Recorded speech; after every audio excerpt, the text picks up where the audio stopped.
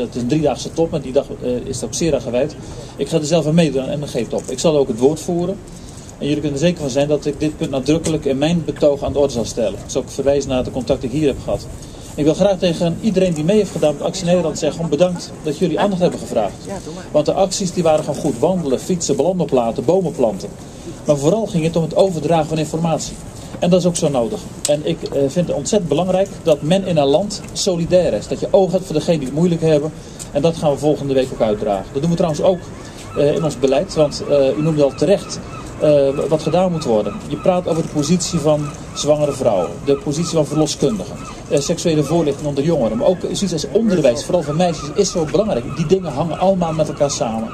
En Nederland is gewoon een land dat altijd is geweest en ook behoort te blijven op het gebied van ontwikkelingssamenwerking. Laten we ernst maken met de realisatie van die ontwikkelingsdoelen, maar zeker bij die doelen waar het niet zo goed gaat. En daarom uh, voel ik mezelf zeer gesteund door deze actie, die gewoon buitengewoon goed is. Jullie vragen aandacht voor een belangrijk onderwerp in Nederland. Ik vind het ook verplichtend voor de Nederlandse regering. Ja, ja. En ik zal Het volgende week uh, in mijn betoog daarop terugkomen. Ik zal ook het eh, plan van Ban Ki-moon, de SG van de VN, die ook nadrukkelijk stil wil staan bij een betere uh, gezondheidssituatie van vrouwen en kinderen. Uh, zijn plan zal ik ook nadrukkelijk uh, ondersteunen. Dus u kunt mij als een partner beschouwen. Wens u geluk met deze actie. Maar ik zeg tegelijkertijd, de aanleiding is, blijft uh, ontzettend triest. Ja. Maar tegelijkertijd is dan ook weer zo dat je zegt van, we moeten alles aan doen om dat te verbeteren. Dat heeft u gedaan, deze actie. U verdient van waardering en hulde voor uw actie. Prima werk en ik ga de volgende week aan de slag. Dank u wel. Dan nu het officiële moment. Directeur van Simavi, Rolien eh, Sassen, overhandigt aan u. Uh, het zijn er inmiddels ruim 6000.